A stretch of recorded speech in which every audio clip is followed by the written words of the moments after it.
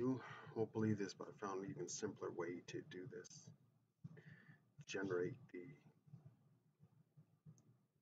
signature without even using flow.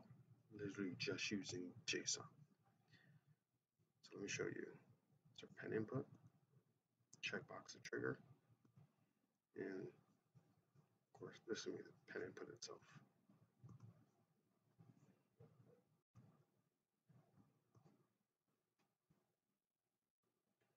Unselect.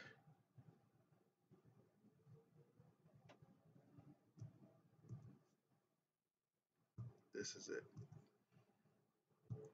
We're going to set our variable, use, JSON, use the JSON function to get the pen input data. Make sure to include the binary. That's going to allow us to get base64 data.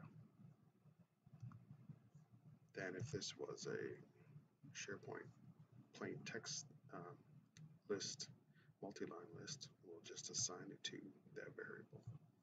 Then it's that simple. So we've got Mr. D Duck.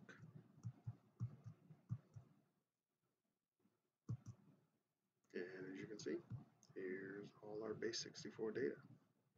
And we just drop that into a SharePoint list.